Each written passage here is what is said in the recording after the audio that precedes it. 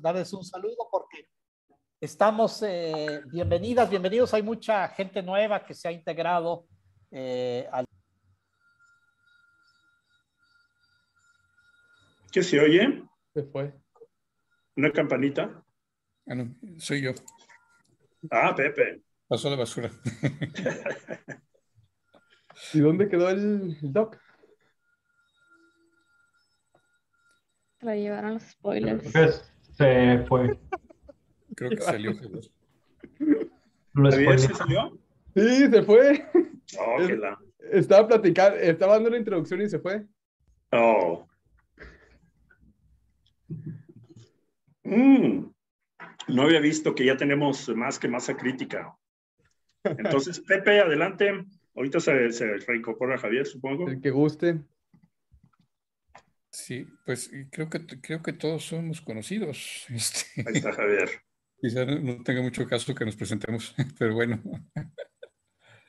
Bueno, pues podemos seguir adelante, entonces ya, ya, nos, ya nos conocemos este, nuestros lados oscuros, entonces ya podemos pasar a, a- al tema en común. Adelante. Bueno, había, había- teníamos esta mini agenda. Ujú. Ya presentado, ya hablaste un poco de los, del grupo, Javier, en el WhatsApp.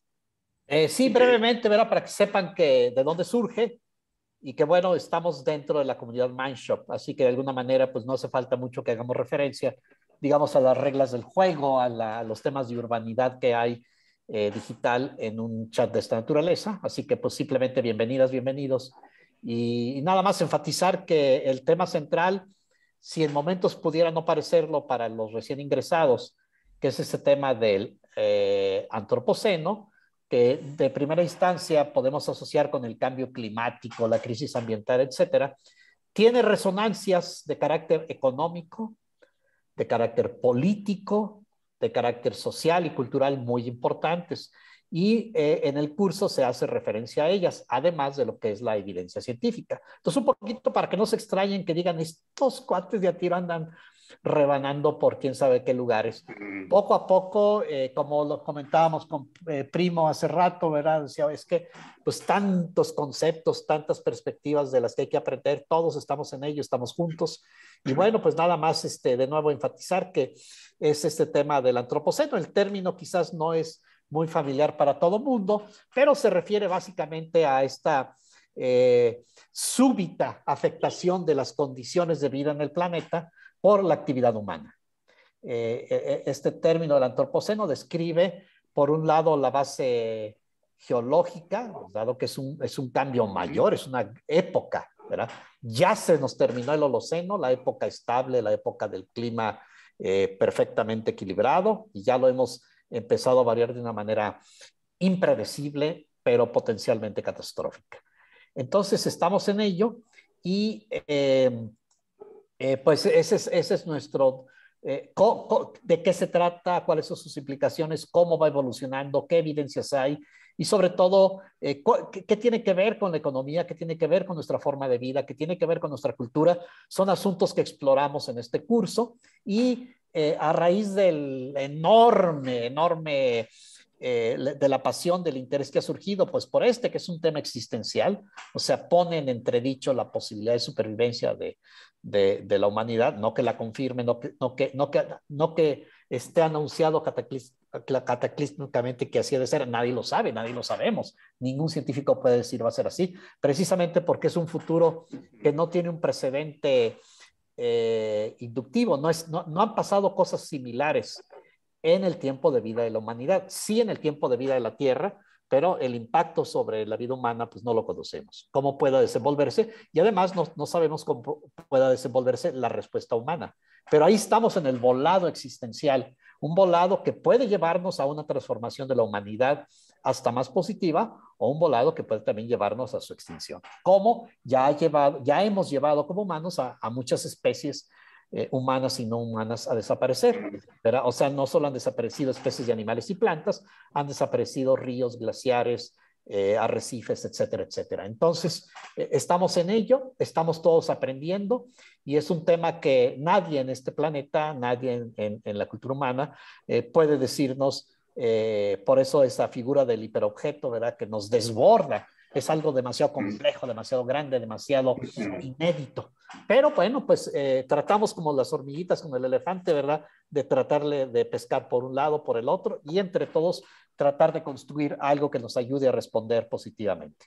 Pues en eso estamos. E, ese es el tema de este grupo. Bienvenidos, bienvenidos. Eh, eh, exhortamos a muchos. Todo el mundo estamos aquí aprendiendo. Aquí no se trata de pontificar, se trata de expresarlo con, la, con el espíritu de Mindshop, ¿verdad? Con la argumentación, con el debate, pero también con la apertura y las ganas de aprender juntos.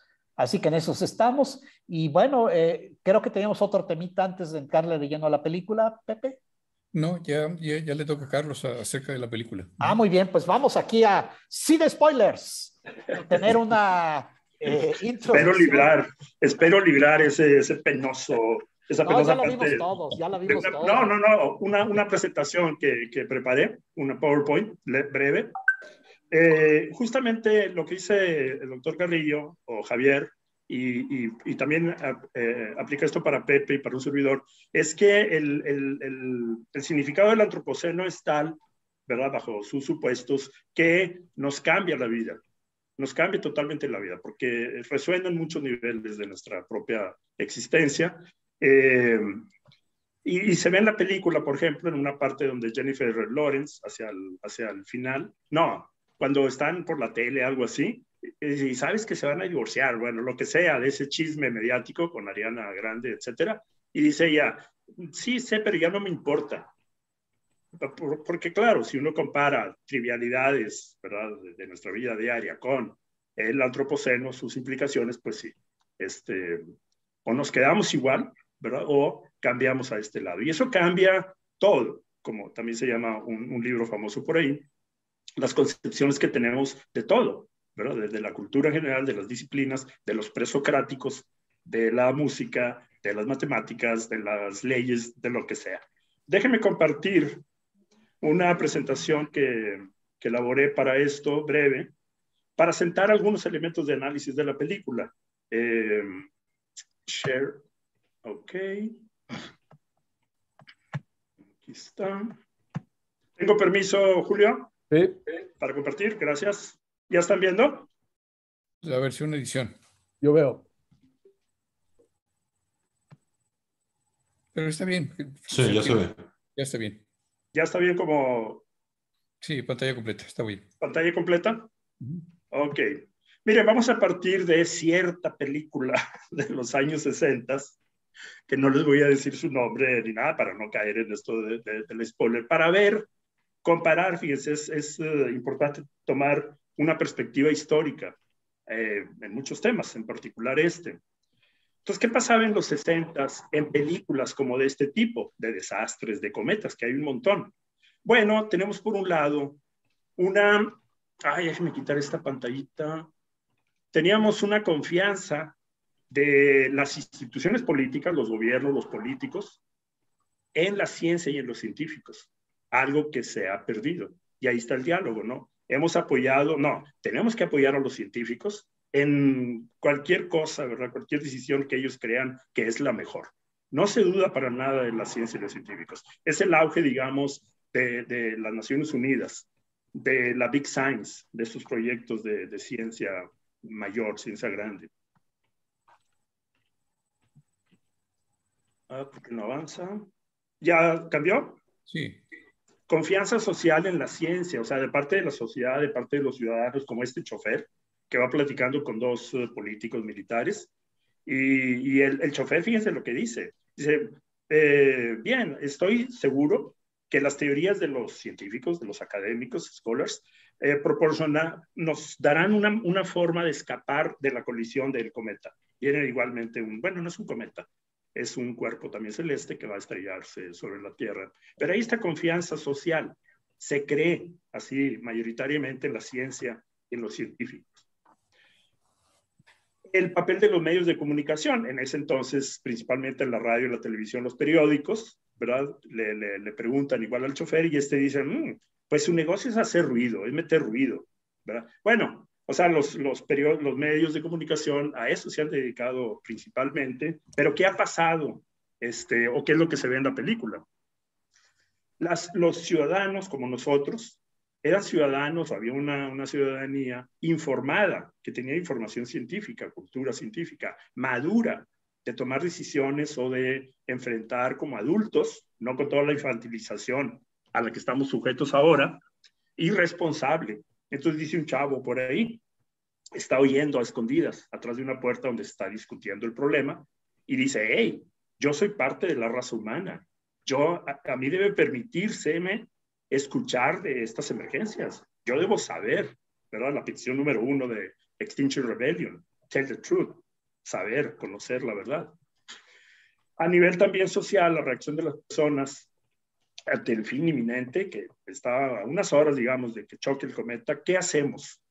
Dice, bueno, la mayoría de la humanidad eh, no, le, no se preocupa, ¿verdad? No le importa en dónde o a qué horas golpee el, el cometa, simplemente están esperando el fin. Que, que, llegue el fin. Entonces se van al reventón, a tomar cerveza, a, este, a, a suicidarse, a, a, lo que sea, ¿no? Hay muchas respuestas a nivel personal. Eh, positivo, también hay una fe en la humanidad colectivamente, o sea, una fe en la especie humana. Eh, por ahí alguien dice, ¿verdad?, que la humanidad es capaz de hacer lo imposible, como salvar, ¿verdad?, al planeta de un desastre. Eh, o también otra vez, reacción de estas personas ante el finimiento, el chavo este otra vez dice, bueno, si la Tierra ¿verdad? lo va a golpear este objeto voraz, eh, yo debería ser, este, debería permitirme un, un, una cheve, ¿no? Antes de, del fin del mundo. Como cuando Jennifer Lawrence también dice, este Timote la quiere besar, y es, bueno, pues sí, si es el fin del mundo, sobres. Corte A. Seguramente conocen Armagedón, Bruce Willis, estos superhéroes, ¿verdad? De, de, de... Bueno, ¿sí me escuchan? Sí. Sí, Doc. Ok. Armagedón está este super éxito, ¿verdad? De 1998, ju justo cuando salió también Deep Impacto Profundo. Pero vean esta escena, al, al principio de la película, eh, esto que, estemos, que tenemos en primer plano es una, eh, ¿cómo se llama? Eh, donde se perfora para sacar petróleo. Plataforma. Una plataforma, una plataforma petrolera y ahí está Bruce Willis, que es el experto en hacer estas eh, operaciones de perforación, y le estaba aventando pelotas de golf a Greenpeace, a un barco de Greenpeace que está protestando, ¿verdad?, por el petróleo. Eh, entonces vean cómo el director, en este caso, eh, se posiciona en contra de estas protestas ecologistas, ¿verdad?, de en contra de, la, de, de los combustibles fósiles, que bueno, han resultado ser los principales causantes del cambio climático, etc. Entonces, vemos en estos 60 años transcurridos, un poquito más de 60 años transcurridos, eh, que podemos extender esto a, por ejemplo, eh, después de la Segunda Guerra Mundial, después del fin de la Segunda Guerra Mundial, que se dio la gran aceleración, un montón de, de cambios acelerados en la economía, la economía fosilista, con el imperativo del crecimiento económico, eh, y una psicopolítica, perdón, faltó una O, una psicopolítica, una subjetividad eh, que todos experimentamos cada vez más neoliberal. Surge el predicamento del antropoceno en términos de calentamiento global, emergencia climática, la sexta extinción que mencionaba ahorita Javier. Eh, por ejemplo, se han generado en, en solamente 60 años, se han generado el 80%, cuatro quintas partes de las emisiones de gas de efecto invernadero. Es tremenda este, este dato. De la Guerra Fría se ha pasado de la ideología de la Guerra Fría al posmodernismo 2.0, con todos estos movimientos de anticiencia, de agnotología, producción de, de, ignorancia científica, toda una industria de manufactura de la duda, en la industria de petróleo, en, las cigarreras, etcétera, y todos estos, estos um, eh, todas versiones del, del, negacionismo.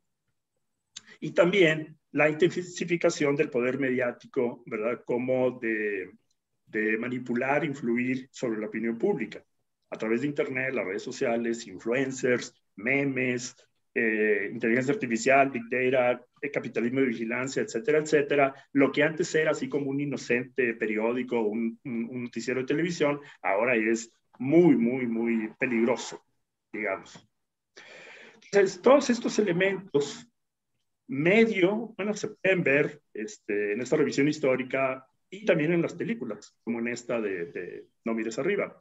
Hay un elemento en particular, ya para meternos en, en la discusión, que es este pequeño dato, ¿verdad? De que la productora de Adam McKay, el director, se llama Hyperobject Industries.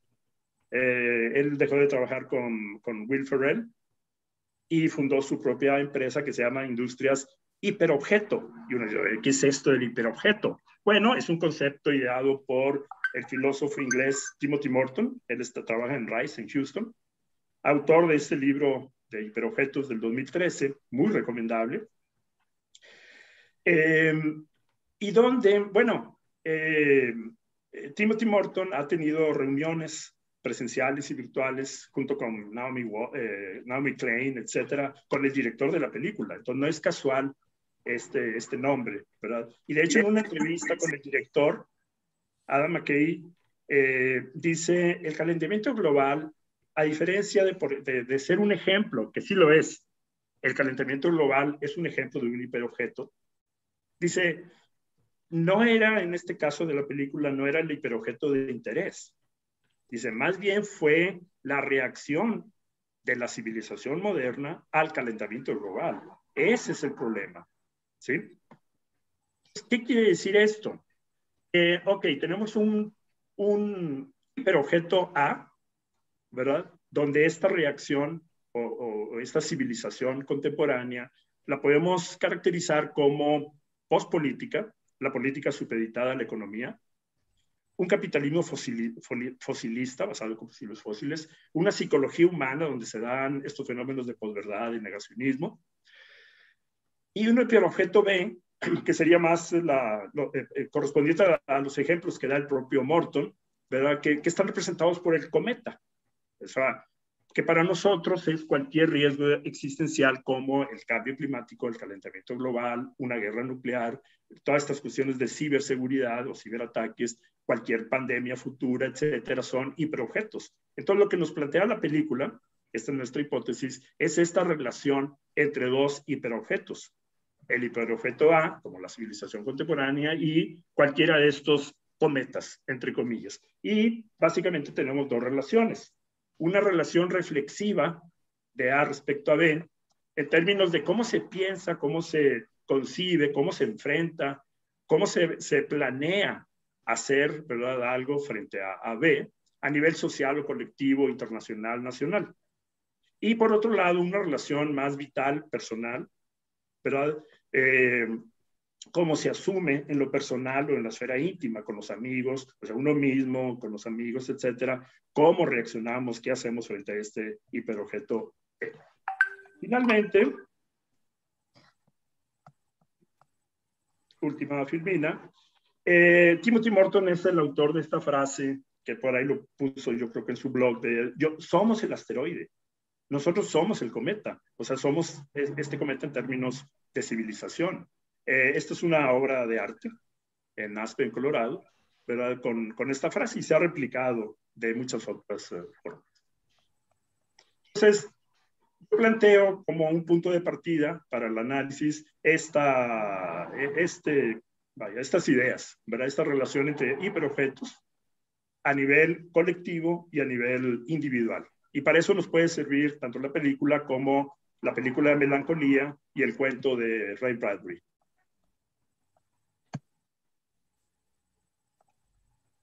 Entonces, camino libre, piso, piso libre, para el que quiera empezar a participar.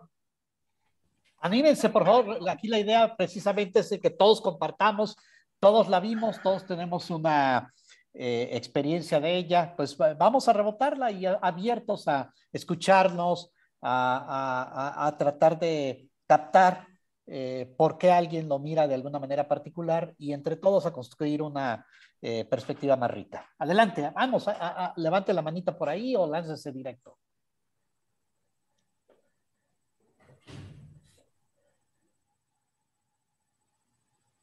Ánimo, vemos una buena... No, es, no sé cómo comenzar. Venga, venga. Me, eh, sol, sueltan, me soltó mucha información que todavía sigo todavía calibrando la con lo de los hiper- hiperobjetos, así que en un segundito.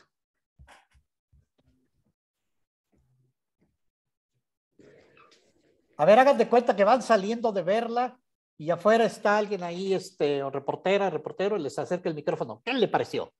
A ver, así en caliente. Sí, sí, sí, comento- si combinamos la, la historia de Ray Bradbury y, y la, la película de Melancolía, que por cierto, mm, justo voy terminando de, de reverla, ah, la- las- los contrastes en las maneras de reaccionar de las personas ante algo inminente es, es muy choqueante. Y por el momento to- todavía no mm, defino qué tipo de persona sería en, en los diferentes tipos de reacciones. La cuestión es que eh, ya de- dentro de la plática de, del antropoceno y dentro de las, nuestras clases, se ha hablado de que no, no es algo inminente, es algo que podemos, eh, el cambio climático es algo que podemos, como humanidad, tenemos el, el- poder de, de detenerlo, de, de hacer cambios importantes al respecto. Pero lo que sí creo es que definitivamente tiene que ser una algo que se trate como humanidad, todo, todo el conjunto de- de seres, todo, toda la humanidad, los, los esfuerzos individuales, los esfuerzos de pequeños grupos eh, están siendo insuficientes. Mm, Debe, debe pasar algo muy grande para que cambie la manera de, de reaccionar de, de todos, de todos nosotros. Y en el, en el tema de la película, pues es, se ve la frustración de, de Leonardo DiCaprio y primeramente de, de Jennifer Lawrence, que, que a pesar de que está ahí enfrente, a pesar de que tiene la evidencia, a pesar de que su, su 99% y luego, dice, luego ocupa el, el 100%, de, de certeza de que va a pasar un, un- un evento que va a destruir al planeta, eh, lo está transmitiendo a todos, no están, no están haciendo, no estamos haciendo nada. Y cuando por fin se decide que, que se va a hacer algo, termina siendo cambiado por, por intereses económicos. Entonces, sí es bastante, bastante choqueante esa parte. Me gusta mucho la, la, escena donde ya por fin Leonardo DiCaprio dejó de ser el, good guy y en el, noticiero ya grita todo esto. No, no siempre se va a decir bonito como, le, como lo hacen en, esa, en, ese, en ese programa de, de, no sé, de comentaristas. Se tiene que decir fuerte, eh, gritando. El problema es que ¿quién va a escucharlo? Desde, que, desde hace varios meses que, que empezamos con, con, el curso de antropoceno, yo sí he estado, piense y piense cuál sería la, la manera correcta de, de, de, tener ese alcance necesario para que toda la humanidad como, como una unidad logre hacer los, los cambios. Y sí pensaba que era el cine y ahora me lo pregunto, ya que... Eh, pienso, pienso en mantener la, la, atención de mucha gente. ¿Qué mantiene la atención de mucha gente? Alguna vez lo comentó el, el, doctor José. Actualmente creo que solo las películas mantienen la atención de mucha gente por mucho tiempo para ser escuchados. Entonces, este, estamos peleando con eso.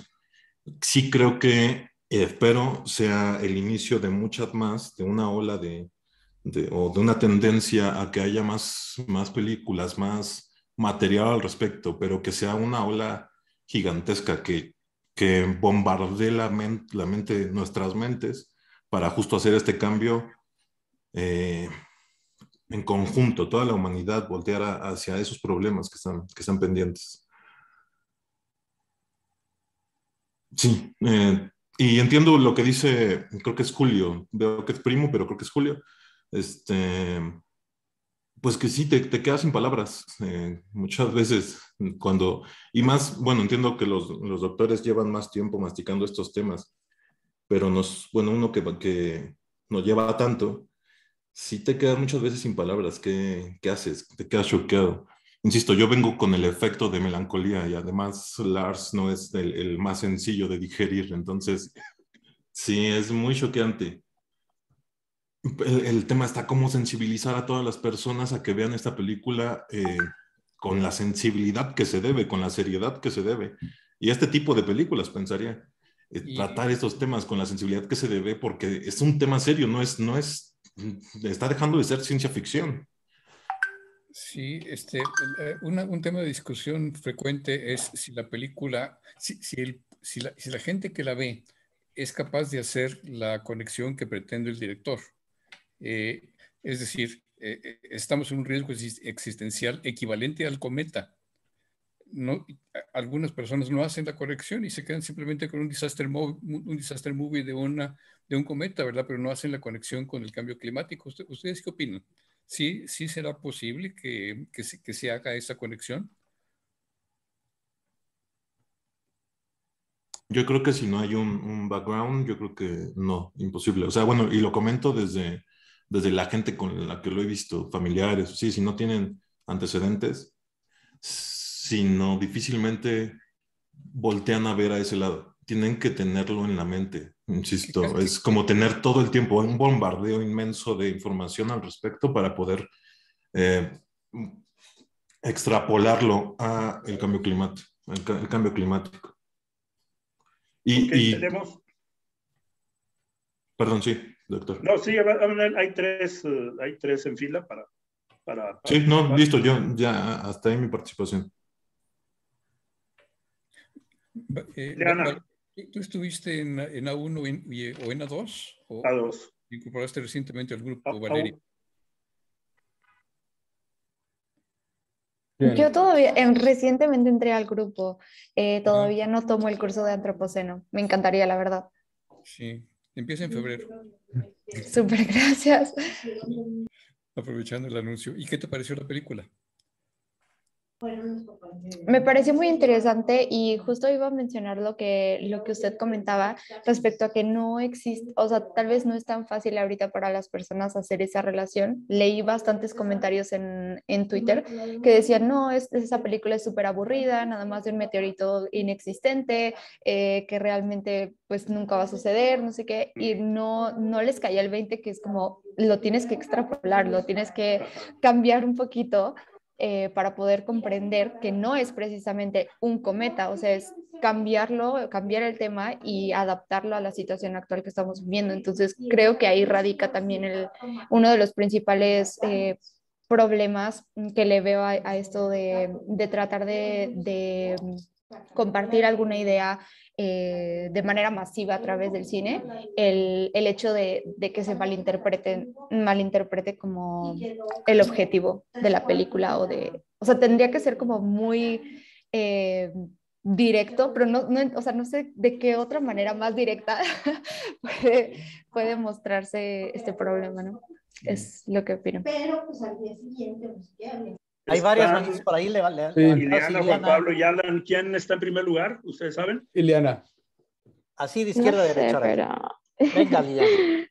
Hola, este, bueno, a mí me, me gustó mucho, mucho la, la película porque, o sea, como que identifiqué, pues, demas, se identifican demasiadas cosas que, pues, de la sociedad, tanto de cómo reaccionan, o sea, la política, los ricos, o sea, siento que es totalmente la, la situación que, que estamos viviendo, eh, pero con el cambio climático, la verdad, que hasta ahorita que lo dicen, hasta ahorita que lo dicen, no había pensado en eso, o sea, que, que pues la mayoría no hace esa conexión. Yo, para mí era así como que pues muy, muy obvio, pues, pero no sabía que hay personas que lo ven así como que muy, y es, y eso qué.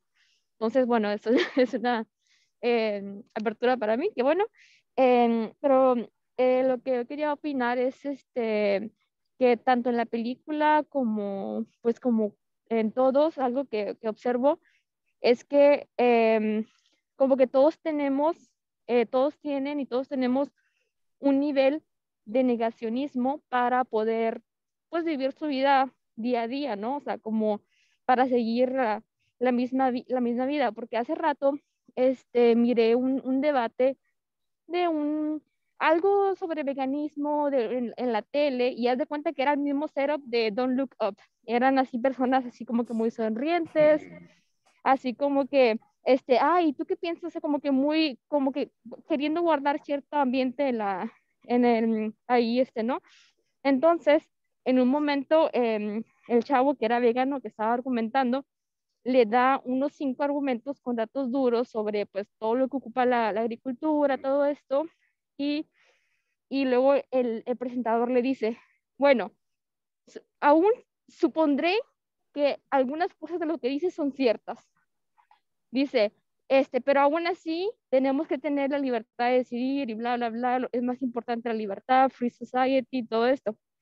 Entonces, ahí me cayó el 20 que eh, pues él, eh, par- para poder seguir con su discurso de que pues eso no es lo, lo bueno, no está bien, todo eso, pues tenía que negar los argumentos que el otro le puso. Dijo, supondré que algunos de los argumentos que dijiste son ciertos. O sea, así le dijo. Ujú. Entonces, este, pues creo que muchos de nosotros hacemos como que eso inconscientemente, ¿no? Como que tanto la película como nosotros, aún, aún, aún diría, o sea, aún yo que estoy así como que no, que está- es importante todo esto, tengo que tener o, o negar o poner mis esperanzas en, ah, bueno, este dato no creo que vaya a ser tan así tan terrorífico, ¿no? O sea, como que todavía hay esperanza o tienes que negarlo de alguna manera. Entonces, creo que pues en la película todos hicieron eso, ¿no? Es como que, espérate, creo que todavía podemos hacer algo, o no es para tanto, o sea, es como que ponerle un, es como que tienen que bajar las cosas de nivel, porque pues si no, no podrían continuar con, con, con su, con la elección, por ejemplo, de la, la presidenta, o con, con todo lo que tenían ya planeado, ¿no? Con todo ese hilo de la, de la vida, pues. O sea, eso es lo que quería decir. Ok. ¿Quién sigue? Juan Pablo, Alan. Hola, ¿me escuchó? Sí. Sí. Ah, buenas noches, pues mi nombre es Juan Pablo y yo soy miembro del grupo HP20. Creo que la, es una muy buena película para cualquier ojo, independientemente de las críticas. Obviamente todos, los, todos la interpretamos a nuestra manera y yo intenté hacer como una depuración entre los problemas y entre los puntos clave que aparecían en, en los segmentos de la película. Y curiosamente uno que me llamó mucho la atención, que lo he visto en mi localidad, que lo he visto en mi familia, con mis amigos, con mis conocidos, Ujú. es la falta de compromiso de las personas para resolver los grandes problemas, tan siquiera una falta de voluntad para tomarles importancia. Creo que se, se relaciona un poquito con lo que mencionó mi compañero anteriormente sobre lanzar más información sobre este tema para sensibilizarlo, pero creo que esa no sería la solución porque a pesar de, de que tenemos el conocimiento al, al alcance de la mano, pues estamos siendo bombardeados por, por kilos de información eh, día a día. Eh, hay un psiquiatra brasileño que se llama Augusto Curi, él ya es jubilado y lo que notó en todos sus pacientes al, al terminar su labor es que, bueno, él, él lo denomina como el trastorno del pensamiento acelerado, que todas las personas no tienen la suficiente concentración para llevar sus actividades a cabo día con día por la masiva cantidad de información que hay, ¿sí? Entonces yo creo que por eso, o sea, el, el fin está bien, necesitamos sensibilizar este tema y hacerlo notar un poquito más, pero no sé si la solución sea lo más factible, lo más aplicable. Y por eso mismo creo que era lo mismo que pasaba en la película. O sea, las personas ya no le tomaban la seriedad a, los temas que de verdad eh, la merecen, porque están siendo bombardeados por muchísima información. De hecho, ya no saben ni en qué creer. O sea, las, las noticias que aparecen actualmente en las redes sociales y en los medios de comunicación son tan banales que realmente nosotros perdemos esa capacidad de poder darle seriedad a los temas. Eh, específicamente ese punto me pareció muy interesante y otra cosa también que, que puse entre mis apuntes es la falta de credibilidad en la certeza de la ciencia. Es, Sí. sí. O sea, aún así, los datos ya estando, el cometa ya estaba descubierto, la gente seguía sin creerlo. Y aún así había personas que en una encuesta pusieron que no querían que cayera el meteorito, Eh, pero el meteorito ya estaba ahí, no, no era una decisión ni siquiera. Entonces eso, o sea, me parece tan curioso porque sí existen esas reacciones hoy en día. sí existe ese tipo de opinión. Y creo que no, no deberíamos tanto culpar a las personas porque el, el grado de conocimiento que llega a tener alguien en la vida depende mucho del capital cultural que ésta puede adquirir. Y creo que actualmente, obviamente vamos a, tenemos los celulares, el conocimiento está al alcance de la mano, pero el, el- el tema es que a las personas no les interesa realmente. O sea, no, no existe ese tipo de curiosidad, no existe ese tipo de, de ambición por, por perseguir el conocimiento verdaderamente y llegar al, al fondo del tema, tan siquiera tocarlo. Eso me parece interesante. Muchas gracias, eh, Juan Pablo. Eh, Alan, tú estabas ahí en, en fila. Gracias, doctor. Qué gusto saludarlos a los tres y del grupo A2. Aquí tomando un poco más de lecciones de ustedes, las agradezco muchísimo. De la película, eh, pues me pareció entretenida, creo que nada más. y lo digo de esa forma porque eh, creo que la habíamos visto en una clase, no, no recuerdo bien si fue la quinta o sexta, en donde decíamos, y bueno, ¿cómo, cómo transpolamos, transpolamos toda esta información que estamos aprendiendo aquí? ¿A dónde la llevamos? ¿Cómo la compartimos? Y recuerdo mucho que una de mis opiniones era en ese momento, pues tendríamos que hacerlo más digerible para los demás, ¿no? Más, a, más asequible o vaya, hacerlo un tema de conversación común con los trends o trendings que existen en el mundo, pero luego eh, veo el personaje de Leonardo DiCaprio que eso exactamente hicieron, ¿no? Amoldearon un científico para el agrado de las demás personas y ahí lo mantuvieron los meses que... Eh, que pudieron haber hecho un poco más, pero lo, utilizaban como objeto de entretenimiento para que las personas pudieran entender o vaya a llenar un, capítulo en, en, en, ese show eh, sobre el meteorito que iba a caer en la Tierra y al final existía esta encuesta, como bien menciona Juan, eh, de que había personas que creían, había personas que no creían, había personas que simplemente decían no va a caer el meteorito ahí. Y esto me hace pensar mucho sobre eh, sobre qué tipo de información recibimos todos los días, ¿no? Y también en la clase, en alguna clase de antropoceno nos preguntaban de dónde sacan información, es decir, cuáles son las fuentes que están utilizando, cómo es que están comunicándose, ¿no? O cómo es que aprenden la información que, tienen actualmente. Entonces, pienso que muchas veces estamos en un circo mediático en donde las noticias para empezar ni siquiera las pensamos, ¿no? Simplemente la noticia leemos el título, el resumen o la conclusión de, lo de quien está informando y la tomamos como verdad o parcialmente una verdad. Y de ahí nosotros creemos que eso es conocimiento, pero no lo es porque no hay un ejercicio eh, recursivo o vaya un método en el cual nosotros podamos entender, bueno, de, de qué me está hablando. ¿Será verdad de lo que me está hablando?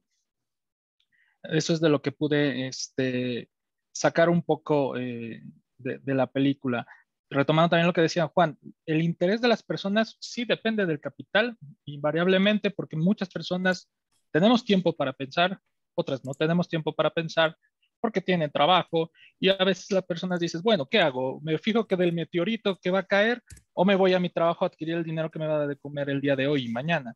Y por eso hay un, un, este, un pequeño este, fragmento de la película, ¿no? Donde eh, esta Jennifer Lawrence regresa a su casa y no la dejan pasar porque sus papás dicen, creemos en los trabajos que nos va a dar el meteorito. Y ese es el máximo grado eh, de ignorancia que nos ha dado el capitalismo, ¿no? Porque se nos ha hecho mucho más importante la retribución de económica que toda la consecuencia que puede haber a través de esa misma retribución, ¿no? de, de, de, de pertenecer a un trabajo quizá que explote un meteorito que muy probablemente nos va a destruir. Eh, tomando también eh, notas de, lo que recuerdo de Lars von Trier, en, la, en, lo que se escuchaba o se sabía del meteorito, no del meteorito, del planeta que se iba a estrellar en esa película, venía de fuentes supuestamente fidedignas. Y la teoría de conspiración eh, de que se hablaba de ahí era de que el planeta realmente no se iba a alejar, que iba a ser una curvatura o, una, vuelta muy eh, chistosa y luego regresar a, estrellarse con la Tierra, ¿no? Entonces la información ver, verdadera no se encontraba en fuente fidedigna de los medios de comunicación, sino aquel ese mundo en donde ignoramos que, o bueno, es lo que expone la película, claro, en ese submundo de teorías, ¿no? o de aquellos que eh, filtraban información de gobierno, pero que pues nadie creía porque al final de cuentas nadie tenía tiempo para ponerse a pensar qué es lo que estaba sucediendo. Y la película eh, de Lars también lo tiene ahí. Las personas están muy encasilladas en los problemas que tenemos en nuestro presente, pero no en lo que realmente está sucediendo, aún cuando estamos viendo este planeta o meteorito todos los días o vaya, vaya, tiene una presencia este, común. Y recuerdo mucho una, eh, una parte del libro de Yuval Noah Harari, creo que el último que fue de las 21 leyes refutables del 2000, del nuevo siglo XXI, creo que se llama, o en Homo Deus, les debo ese dato. Pero hay algo que yo siempre estuve en contra en una parte de su tesis de Yuval, y en contra porque a lo mejor me veía muy esperanzador. Pero él decía que eh, no, casi no hay registro en la humanidad en donde el, humano actúe antes de las consecuencias. Por lo regular, el progreso de la humanidad es cuando llega a un punto irreversible y busca una solución para seguir viviendo. Y yo decía, no, no creo que realmente podamos hacer, sí, en toda la historia de la humanidad, en verdad, todos siempre llegamos a un punto de inflexión en donde no podemos regresar y hay que buscar la manera de resolverlo para seguir sobreviviendo. Y las dos películas, ya para cerrar lo que digo, pues terminan en eso, ¿no? Se acaba el mundo, porque es más fácil imaginar el fin del mundo que, como dicen en el grupo de la cantina, que el fin del capitalismo, ¿no? Así es. Gracias, Alan. Por cierto, mira hacia atrás, hay un planeta ahí que se te va acercando. Empezó chiquito y ya está muy grandote. no es cierto. ¿Quién más por ahí? Vamos. Sí, Abel.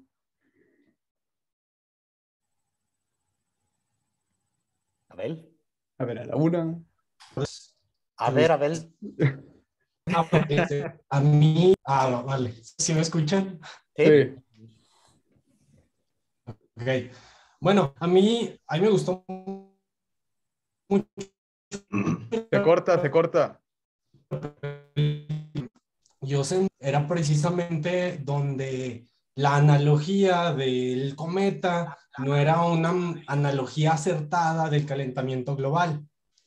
Y esto podía ocasionar que pudiera incrementarse más esta onda de fake news y de desinformación, por eso mismo donde no se logra hacer la conexión del calentamiento global con el, con el cometa. Ahora,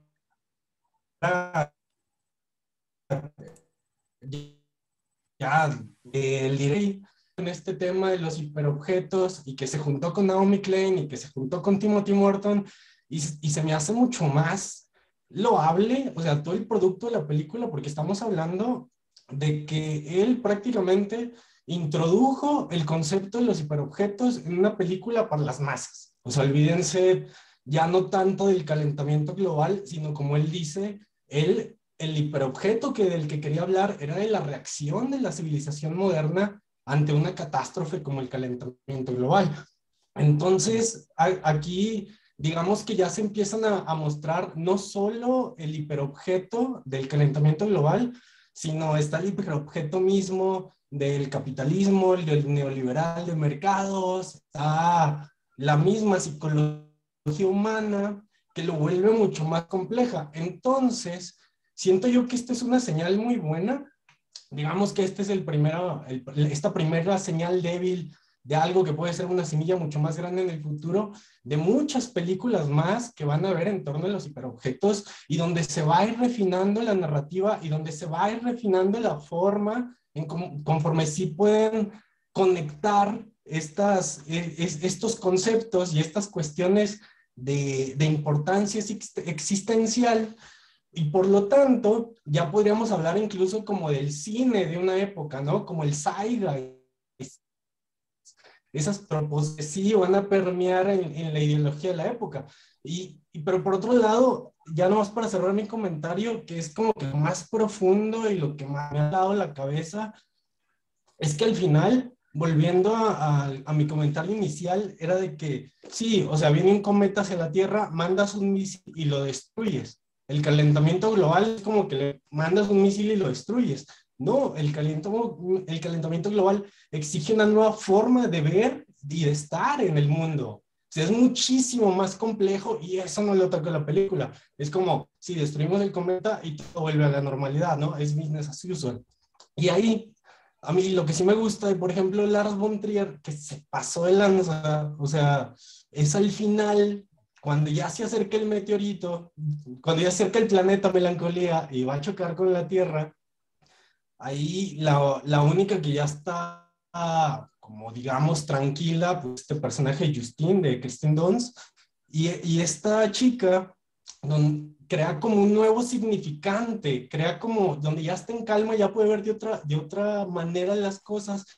Una vez que ya están cuando empieza a crear esta como cuevita con las ramas, se, me, hace, se me hace increíble porque ya es como que acepta el problema lo acepta con total calma. Ya es otro estado mental, quizá un estado mental muy el de Leonardo DiCaprio y su familia cuando están todos reunidos en la mesa. Y conecta mucho con lo que decía Donna Haraway, que dice, pues es que tenemos que aprender a vivir con el problema. Esas soluciones para tratar de solucionar el problema, vaya, son parte del problema.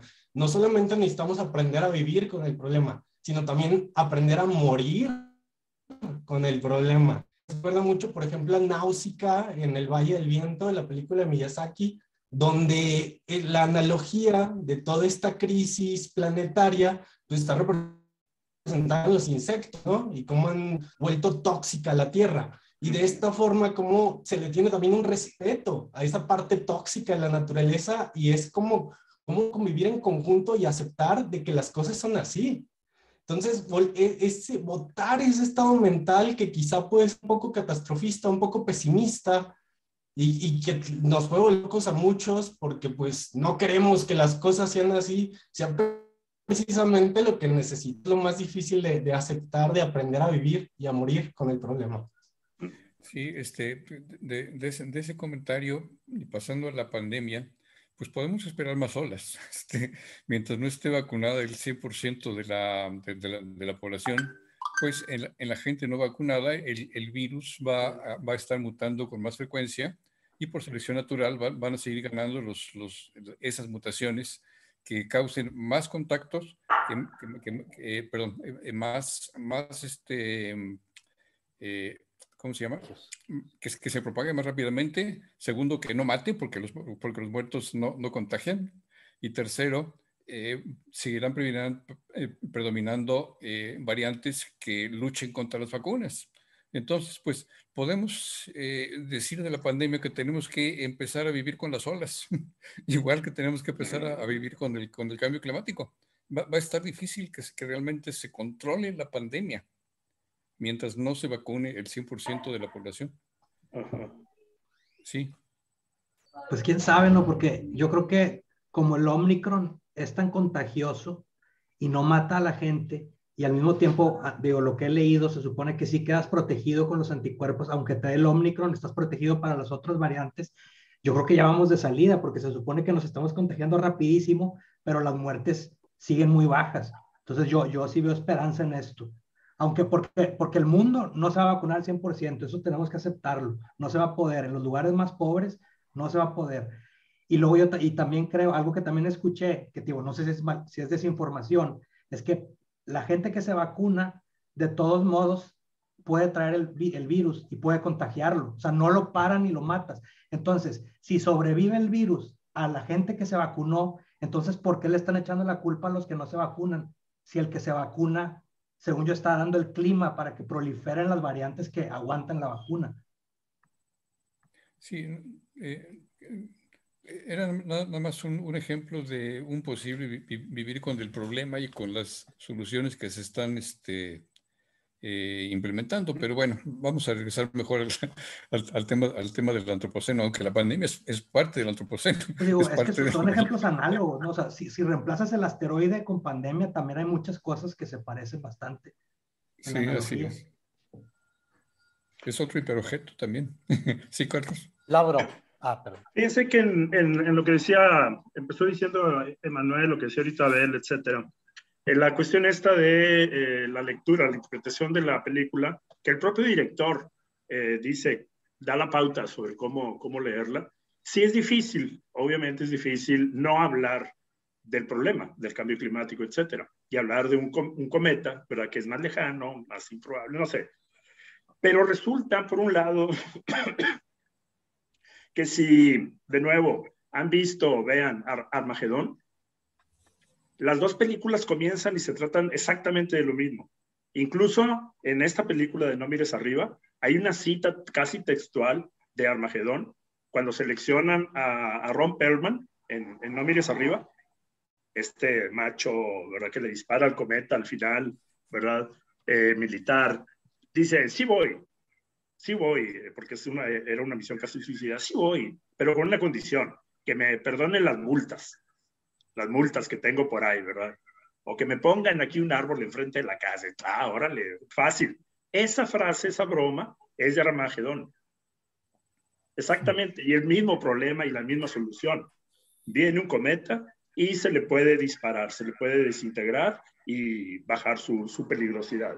Pero entonces hay un giro. ¿verdad? La película de No mires arriba cambia, cambia la narrativa porque ya pasaron 30 años, bueno, veintitantos, ya pasó una generación, han cambiado muchas cosas. Eh, y entonces, la, la, pregunta que se planteó el propio director es, bueno, ¿cómo hablar del cambio climático sin hablar del cambio climático?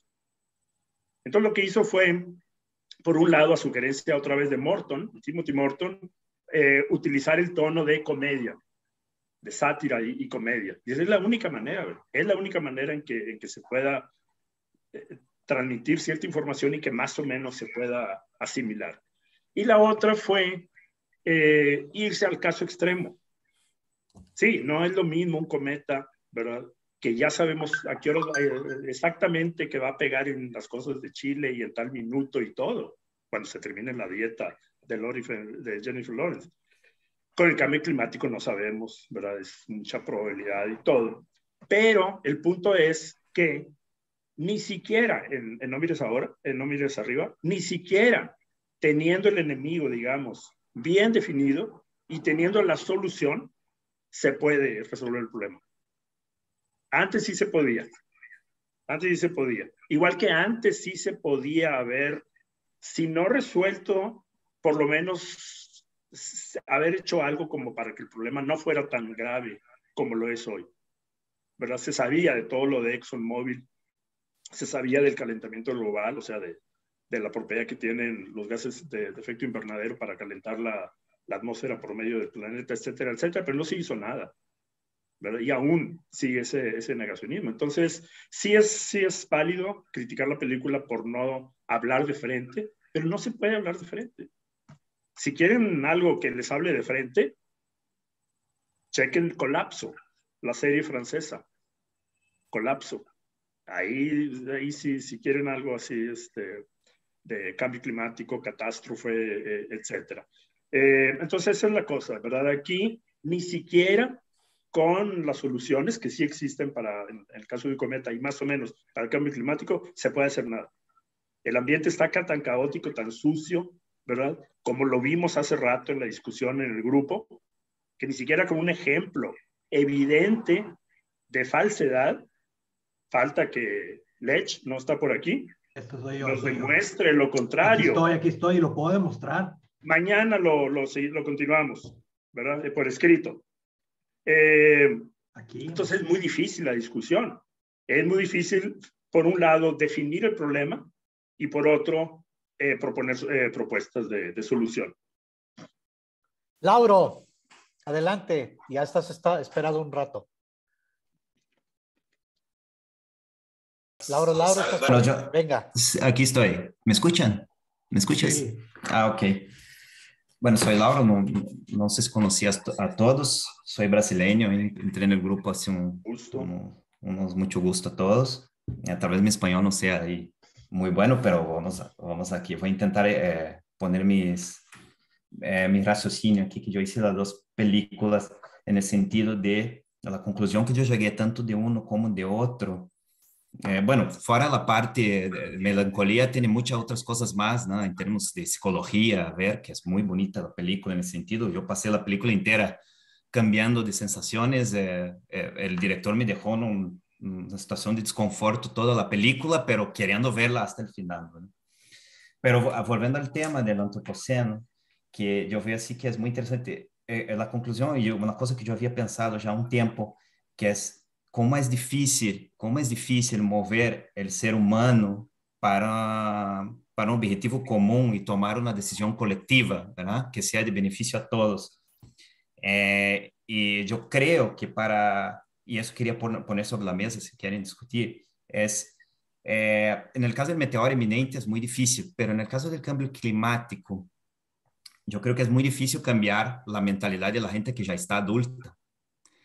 Voy a dar un ejemplo, y, en Curitiba, la ciudad de donde vengo, es considerada una de las ciudades más limpias eh, pues de todo el mundo, está en la lista, está entre las 20 ciudades más limpias. ¿Qué pasó? ¿Por qué? Eh, y si tú preguntas a un curitibano, oye, güey, ¿por qué no tiras eh, la basura en el piso? ¿Por qué siempre buscas un, un basurero? El curitibano siempre busca un basurero. ¿Por qué? En los años 80, hicieron una campaña llamada, pusieron la familia hoja, animación, eran hojitas, ¿verdad?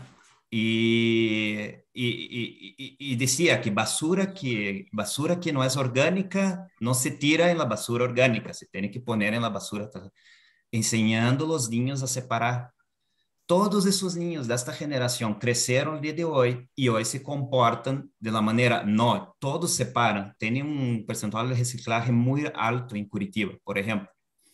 Entonces, tú empezaste con, con los niños, fuiste educando los niños, los niños pues crecieron, ahora son pues la, la, la, parte de la sociedad que está dirigiendo la sociedad de la, de la ciudad al, al, día de hoy, y casi nadie tira la basura en él. Y esa campaña continúa, continúa hasta hoy, ¿verdad?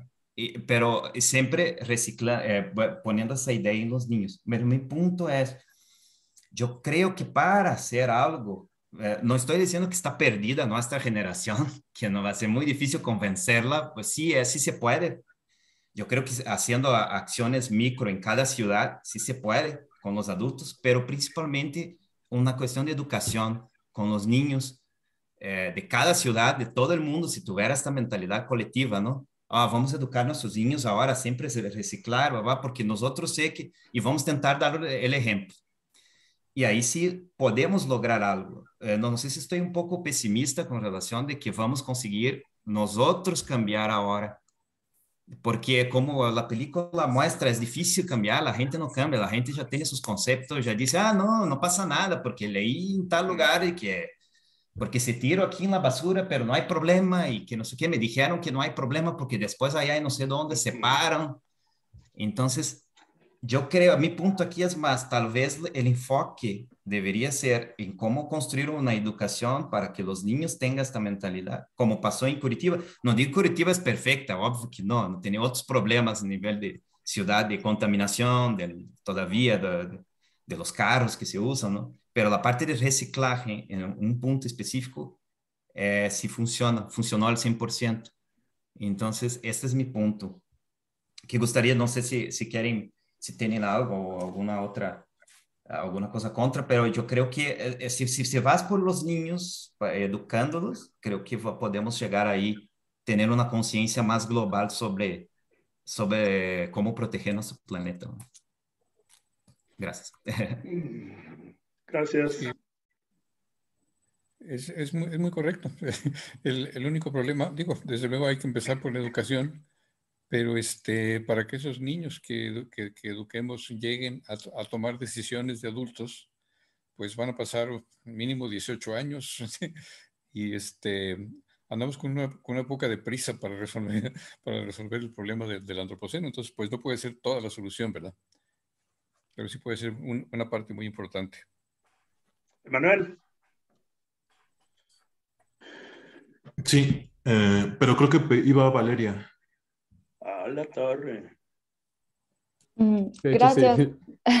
Gracias. No solo quería hacer un comentario súper rápido, igual de, de, otro aspecto de la película que me, me, saltó bastante, que finalmente las personas con este poder político y económico, como en su caso la, la presidenta de Estados Unidos y el, y el empresario, el, el, este, el dueño de Bash, eh, que caían en el, en el, finalmente en el negacionismo de no miren arriba, tenían un plan B de, de, poder llegar a otro, de llegar a otro planeta, ¿no? Sabían, y a pesar de que sabían y tenían las pruebas de que ese, ese cometa iba, iba a llegar a la Tierra, eh, en su interior aceptaban que ese cometa iba a llegar a la Tierra, pero, eh, y fue tanto así que buscaron esa, ese plan B, ¿no? Esa salida. Pero finalmente, como el cometa no se alineaba a sus, a sus intereses, prefirieron formar como parte de esa oposición, por así decirlo, de, de no miren arriba. Y lo, es lo que me hace dudar ahorita en la actualidad si realmente entonces los, los que tienen poder político o económico como a grandes escalas eh, en, hablando de cualquier tema en general, como tal vez ellos sí conocen una salida, conocen un, algo para salvarse ellos, pueden tomar la postura que, que decidan ante problemas este, de esta magnitud. Entonces, al final pues de la película se ve como ese pedacito de que llegan a otro planeta. Ellos sí tenían un plan B y tenían un plan B tanto así que cree, o sea, porque sí creían en, en, que era el cometa. Finalmente su negacionismo era como falso, o sea, no, realmente no estaban eh, casados con esa idea de que no existía el, negación, el, el cometa. No sé, es lo que... Ellos, ellos se van al, al, planeta cuando el plan A falla. Sí, exacto, pero, pero finalmente, o sea, tenían tenían sus otras, otras salidas, ¿no? O sea, siempre tenían una opción, ¿no? O sea, como de, de, lograr otras cosas. Entonces, si lo, también si hacemos esa relación en algunos, algunas, algunos otros problemas de la actualidad, quiero pensar que tal vez los políticos o los empresarios eh, a esas escalas eh, deciden tomar cualquier postura porque de igual manera ellos se van a salvar, o sea, o tienen algún, algún plan B.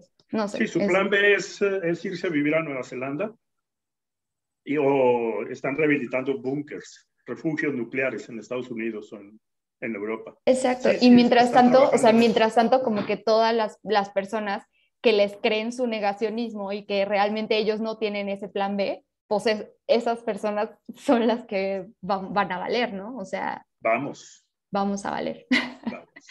sí.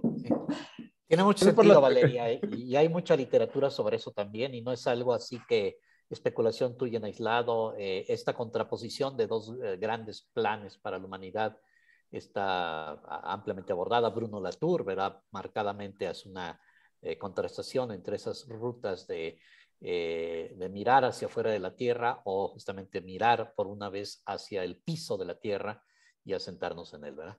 Este, por ahí tenemos más manos levantadas. Emanuel. Venga. Sí, eh, me gustaría retomar algunos comentarios eh, de varios, varios compañeros. Empezaría por uno de, de, Juan Pablo que comentaba que mencionó la parte de que no todas las personas eh, tienen el, las mismas oportunidades para tener la, al alcance la información necesaria y poder tener el background para, para entender o hacer esta extrapolación de, de este ejemplo de, de la película al cambio climático y el efecto del antropoceno. Y estoy completamente de acuerdo. Eh, sin embargo, al, al, respecto, hago en mi cabeza de inmediato hizo la relación conocimiento es poder y luego hizo la relación con eh, un poder es una es, eh, conlleva una gran responsabilidad que todos sabemos de dónde viene.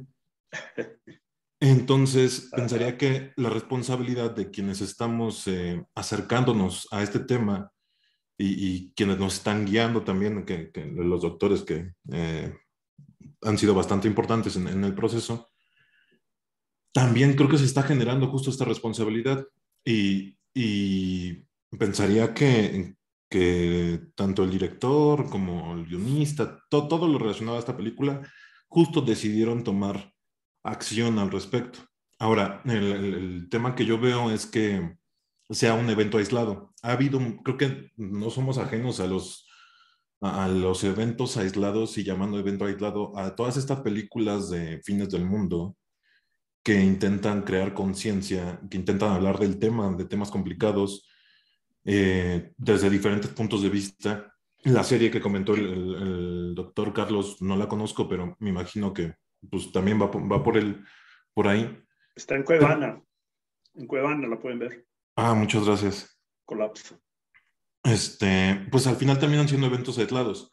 Entonces se me ocurre, organizando las ideas, que terminara haciéndose un, que no fuera aislado, que fuera un tipo plan Marvel de 20 años, que, en realidad la, la, acción debería ser antes, ¿no? Pero que de alguna manera nos fue, se fueran desmenuzando cada uno de los temas relacionados con el antropoceno, con el cambio climático, con greenwashing, con todos estos, pero desmenuzado bien a, y bajarlo a, a nivel, al nivel más sencillo que se pudiera. Porque como decía el doctor Carlos, eh, que no se puede hablar de eh, tal cual del cambio climático, que el ejemplo de la película es, este, es justo, que esa es la manera en que se puede lograr.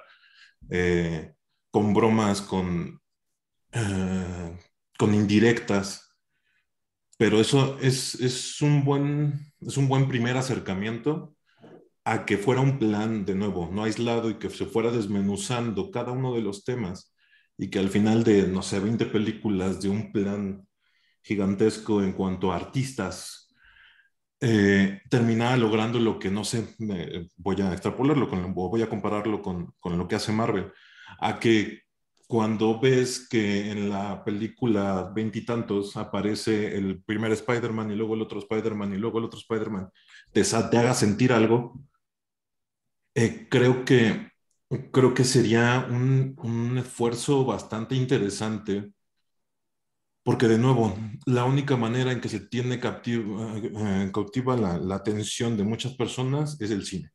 Entonces, y creo que el arte tiene mucho poder para poder dar, dar a entender cosas al mundo, pero creo que se está haciendo demasiado arte para artistas. Entonces, si, esta, si este arte estuviera desmenuzado, estuviera explicado con bolitas y palitos, con chistes, con, con, con personajes, con, con eh, héroes que no estuvieran necesariamente relacionados con hacer dinero o con el empresario que ganó o el deportista que logró tal cosa, sino aquellos que lograron defender a capa y espada eh, este, estos temas, creo que podría ser un algo interesante. El problema, de nuevo, que, que, a mi parecer está aquí, es que, son eventos aislados.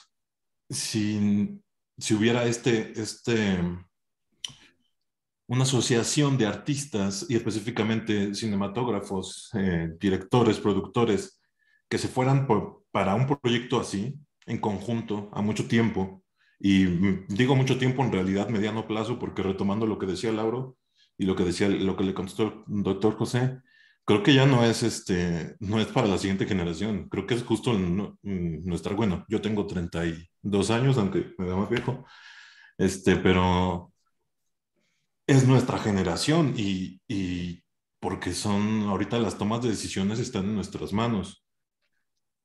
Eh, o empiezan a estar en nuestras manos. Es justo esta generación. Y, y como tú dices, Manuel, para agregar a tu punto, Sí, es correcto, estoy, estoy contigo y sí, sí es cierto, sí nos toca a nosotros y con lo que entendí lo que dijiste es, siento yo que todos queremos llegar al mismo fondo, pero para llegar al fondo tenemos que encontrar la forma. Primero con uno y luego ya con los demás. Y eso es lo más difícil. Un ejemplo con mi familia, que quiero llegar a transmitirles esto, inmediatamente nada más con mi mamá, con mi hermana, es dificilísimo y luego dicen, pues está bien, te entiendo lo que quieres decir, pero ¿qué hago? Y ahora, o sea, ya me dice toda esta información, ya me agüitaste. ¿Y ahora qué hago? Entonces, eh, eh, por eso, y eso es lo que quería terminar. Está bien dar eso, siento yo que sí hay que informar, pero tal vez dar una, una sustitución a algo, dar una, un inicio, un avance o, o algo es, eh, puede ayudar y como lo que decía Carlos, a lo mejor estamos en un momento muy sensible de que para dar estas informaciones no se pueden dar directas porque van a ser rechazadas de, a primera instancia. Sí, de acuerdo. O sea, tienen, tienen que irse de a poquito, entre broma y broma, y en un lapso, en mediano plazo, de pronto descubres que ya te están dando información fuerte, que ya estás entendiéndolo, porque de momento me iría con lo de Lars. Realmente hay muchas cosas para analizar del, del tema psicológico, del, del tema de, de, la catástrofe que está pasando. Y, y, pensaría que en algunas cosas es muy directo y en otras cosas se ocupa del lenguaje cinematográfico, pero de nuevo, arte para artistas. O sea, para poder entender esta película tienes que chutarte todos los libros y todas las películas que, o sea, realmente eso, si es lo que se está, se está queriendo transmitir estos artistas, no está funcionando, pensaría. Y, y, al respecto comparto, comparto que dentro de este plan y dentro de esta responsabilidad que tal, tal vez me estoy dando eh, más atribuciones de las que me tocarían, eh, incluso hasta estoy, bueno, ya, ya, hay un plan elaborado en, en, mi vida justo para empezar con la escritor, la, la, el estudio de guionismo y el estudio de producción eh, cinematográfica, justo para poder hacer algo. Padre. Porque, porque creo que soy, creo firmemente que tiene que ser ya. No, no es ya, estamos, vamos tarde, es para, es para ayer. Y si, si realmente no se está haciendo, y ahorita con, siendo congruente con mis palabras, si realmente no se está haciendo como este plan estructurado, pues ver qué se puede hacer de, desde, desde esta trinchera. Entonces, pues sí, entonces, pues lo, lo, pongo ahí sobre la mesa, esta parte del el poder del arte y el poder de hacer arte no para artistas. Quiero aprovechar este punto. Quería, sí. Okay. sí, Javier. Quería ah, ah, es que les, les, quiero, les quería preguntar desde el principio algo que quiero aprovechar la ocasión. Por cierto, nada más, este Manuel, hay una película francesa sumamente exitosa. Eh, recuérdenme, Carlos y, y, Pepe, los que se recuerden de ella, que fue eh, la, la, la número uno en Francia hace unos 3, 4 años una película documental, pero es justamente... Eh, sí, mañana, sí, ¿verdad? Tomorrow. Eh, ¿verdad? Este, que es acerca de eh, un, un, un, un, este, es una eh, dramatización de una situación real de un, grupo de personas a partir de una madre joven eh, que, que, se percata a través de un artículo científico de la realidad del antropoceno, decide dejarlo todo para eh, trabajar con una, una, un grupo de, producción cinematográfica en la realización de una película, que es esa película, que refleja básicamente, eh, por un lado, la problemática, pero el grueso de la película son tratar de documentar maneras alternativas de vivir que posibiliten eh, eh, otras salidas al, mundo, ¿verdad? Entonces, este, está por ahí Domain, ¿verdad? Ma mañana en francés, y, y, es precisamente esa decisión. Yo lo que quería era aprovechar para preguntar, hemos comentado mucho acerca de eh, lo que ha sido mucho el plano de debate de, de, de, esta película en términos básicamente de un ejercicio de comunicación, es decir, de qué se trata, eh, está bien abordada, eh, llega a su público no, etcétera, etcétera, ¿no? Creo que lo, lo por, eh, y, y, tengo la impresión de que hay una alta correlación entre básicamente las posturas ante el antropoceno de antemano, si los negacionistas que dicen, no, es una vacilada, eh, no se sabe por dónde, está aburrida, etcétera, y eh, del otro extremo, los científicos que están clavados en eso, por fin, ¿verdad? Me brillaron los ojos, veo una salida, tal, tal, tal. Y, y muy, muy, a lo largo de ese continuo. Pero lo interesante es que eh, aparentemente la gente más enterada de cine, la crítica, la maltrató más, ¿verdad? Sus calificaciones son por abajo de, del 50%, con una escala de 100 de, de aprobación. En cambio, el público en general, por lo menos de Netflix, que ha sido su plataforma de difusión, eh, tiene eh, eh, eh como 7.6 la última vez que lo vi. Entonces, que es bastante alto, ¿verdad? Es, es realmente eh, difícilmente se, se llegue a esos niveles. Entonces, la pregunta que les quiero hacer es, más allá de discutir de qué se trata, es un buen ejercicio de conexión, etcétera, mi pregunta es, ¿es una buena película? ¿Es arte? A ver. A mí me gustaría comentar algo antes de pasar a esa pregunta. Venga. Eh, a todo esto y respondiendo al comentario que acaba de hacer mi compañero anteriormente, creo que todo depende de la urgencia. Y fue exactamente lo que pasó en la película. Eh, en un momento, en cierto momento de, del desarrollo de, de, todo este timing del cometa, el personaje de Leonardo DiCaprio se, se mostró muy tranquilo eh, relativamente por lo de sus padecimientos, se, se mostró muy prudente en la prensa pero ya conforme pasó el tiempo y él sintió esta desesperación, e, esta bomba de tiempo, él fue quien explotó principalmente. O sea, la chica porque tal vez así era su personalidad, pero personalmente yo noté que el personaje de Leonardo DiCaprio era el que verdaderamente representaba al ser humano promedio que se preocupa por todos y que quiere el bienestar de todos. Entonces creo que trata mucho de la urgencia, el, el, cómo tratar estos temas, ¿no? Del antropoceno y, y, del cometa, vaya, aplicado a la película. La urgencia que tenemos ahorita es inminente y pasó lo, lo mismo en, en, la película. Eso quería comentar. Mm.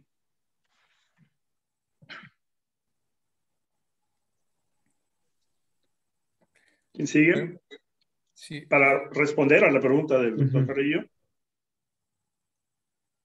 A mí, a mí no, se me, no se me hace una buena película. O sea, creo que son muy buenos actores, pero no fueron buenas actuaciones. Y luego como comedia tampoco está tan chistosa. Entonces yo creo que solamente por el hecho de que trata de un tema importante, no la convierte en una buena película. Aunque sí, esto, sí está generando conversaciones. Y si es arte o no, pues digo, ahí es muy difícil porque es muy difícil definir arte, pero yo creo que cualquier cine comercial yo no lo consideraría arte, porque pues está hecha para vender y venderse Netflix. Y pues esa es mi opinión sobre, sobre eso. De acuerdo. ¿Alguien más? Sí, también para mí es una película muy mediana. Uh, no, no hay algo que realmente a mi parecer, impacte más allá del, de, de la metáfora. O sea, nada más. Yo creo que es famosa por el elenco que tiene. Sí, como bien dice Cantú, son buenas actuaciones, pero, pero no veo algo distinto que no hayamos ya visto en otra película. Salvo. Pero Alan, Alan con todo, con todo respeto, pero hay que ser francos siempre. ¿No es negacionismo eso? ¿Un, un, nivel de negacionismo? ¿Qué cosa? Es decir, no es esta, esta, esta, eh, de hecho la pregunta misma, Javier, la pregunta misma da entrada al negacionismo, en términos de, no el tema, sino decir, la película es mala, el tema es ah. malo. Tirar el bebé con el agua y, todo eso. Pero, pero, pero, el tema la idea de la película es buena, pero está mal ejecutada, a mi parecer. O sea, realmente no veo un desarrollo más profundo más que el, tocar el, pánico y la no solución al problema. O sea, no hay más allá, no me habla de los demás países. Por ejemplo, este, si yo quiero profundizar sobre realmente la problemática mundial, o sea, pareciera que es nada más una representación del, de, de Estados Unidos. O sea, es una sátira de Estados Unidos, del gobierno de Estados Unidos. Para mi parecer, ahí se queda la película. ¿Cómo definen una buena película? Porque a mí me pareció una genialidad, o sea, porque es un reflejo, es un, el, el claro reflejo es, y lo más real, no es, parece no es una película, parece un documental. Porque al final se está, está siendo juzgada por cada uno de nosotros por desde lo que esperábamos de la película. Escucho a Alan y escucho a, JC. Eh, esperaban, ya llegaban o, espera, o llegaron con una expectativa y esa expectativa no fue cubierta, entonces fue una mala película. No, no, no es expectativa. O sea, realmente el planteamiento es una sátira a, un, micro, a un microentorno que a lo mejor si estuviera viviendo en Estados Unidos lo entendería un poquito más, pero nada más. Yo creo ¿Es que la sátira un género artístico, eh, literario, por ejemplo, lo es? Mm. ¿O por ser sátira demerita? ¿O por es que siento que se demerita? No, no, no, no, en, absoluto, no lo demerita. Simplemente creo que se, me es floja. Es que creo que hay un, hay, hay sátiras eh, donde se burlan de Estados Unidos mucho mejores. O sea, a mi parecer. Yo pensaría que más bien hay tipos de humores. Y, y, pues sí, en, ese, en ese ámbito, pues al final los diferentes tipos de humores van a, a simpatizar con diferentes tipos de personas. En este caso, pues, como bien comentas, pues a ti te pareció mediana. Es que si la comparas con la de Lars von Trier, o sea, no, no hay cabida. Eh, Ahí los personajes son mucho más desarrollados, la historia está mucho mejor ejecutada y ya no hablemos de toda la demás parte cinematográfica. O sea, la de Lars von Trier se me hace mucho mejor película. Depende de qué puntos estés comparando. Ah, cinematográfico. Hablando cinematográfico. O sea, si hablamos ya del análisis de, lo que interpreta la película, pues sí, ahí sí ya es distinto. Y no estoy hablando de gusto, simplemente como producto cinematográfico es mucho mejor el de Lars von Trier que eh, Don't Look Up. Me confieso que... súper ignorante en el tema cinematográfico, entonces mm, ahí no puedo, no puedo contestar. no, no te preocupes. Creo que sí hay ciertas especificaciones, ¿no? O sea, es una sátira no puedes esperar que sea una película súper mega seria sobre el problema. Entonces, yo sí la considero una buena película, creo que es muy realista, no, no esperé nada serio de ella. De hecho, hasta algunas risas no faltaron y por eso creo que yo la considero una muy buena película para hacer una sátira. El, objetivo sí lograron, ¿no? Que es generar todo ese este buzz de, del tema del, de, del cambio climático. Creo que era ese el objetivo, yo creo que ni yo creo que no querían crear arte, querían generar eso mismo. Eh, y lograron, yo creo que lograron con mucha... Pero de nuevo, ¿qué es el arte, verdad? Eh, algunas personas, eh, he visto algunos comentarios que han hecho alguna ah, referencia aquel ejercicio que en su momento fue algo escandaloso, ¿verdad? Este, esa sátira también de Jonathan Swift, donde él hablaba de, en literatura, ¿verdad? tenía aquella figura de eh, donde sugería que a los niños, en, eh, la, para resolver el problema de la hambruna en Irlanda, que a los niños eh, los quemaran, ¿verdad? extrajeran la grasa y fabricaran jabón con ello, crearan una gran industria mundial y resolvieran el problema de, económico. esto verdaderamente fue así como blasfemo para muchos en, en la sociedad irlandesa de su tiempo. Y, bueno, aquí yo encuentro respuestas eh, similares.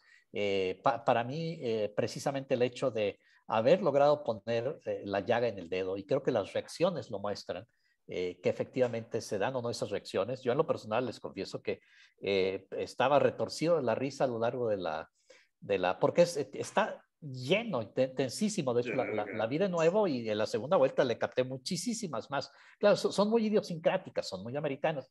E, e, ese, es el punto de partida. Este, e, el nivel de la comedia. Pero al final, eh, casi mi esposa me recogió con recogedor del piso, así en poquito, eh, verdaderamente el impacto de la tragedia, ¿verdad? Eh, desde el punto de vista del, ya no del acontecimiento en sí del antropoceno, sino como alguna reflexión que hizo alguno de ustedes sobre el vivir y el morir en el antropoceno, ¿verdad? Que también está en, la literatura, la dimensión trágica y ese logro de esa juxtaposición de la comedia y la tragedia, ese impacto vital, lo digo desde mi, propia, desde mi propio recuento y creo que no estoy aislado, eh, me parece genial. Me parece tremendamente oportuno en esta circunstancia y me parece magníficamente bien logrado. Es grotesca, es, pero el arte puede ser grotesco, el arte puede ser eh, miserable, el arte puede ser incómodo, el arte, eh, eh, o sea, el arte no es una forma particular y un estado de ánimo particular, ¿verdad? es una experiencia vital que acontece o no acontece. Y en este caso a mí me parece magníficamente bien logrado, me parece que la intención es lúcida, es brillante, me parece que el elenco se pliega muy bien, no solo el elenco, me parece ya en la segunda vuelta, ¿verdad? qué bien integrada está el score musical, la fotografía, todos se supeditan a ese eh, se, quedan en el fondo detrás de ese tono grotesco, de ese tono eh, casi absurdo, trompiano, ¿verdad? Que e, es mucho la realidad de nuestros días. Entonces, el haber logrado ese, el haber logrado ese eh, impacto en, nuestros días hacia ese público más amplio, me parece que no es solamente el, el resultado, como alguien lo dijo de ustedes, ¿verdad? También de de una, un ejercicio de comunicación adecuado, sino como del aprovechamiento del espacio artístico, de las posibilidades del cine en sí como, eh, como medio artístico.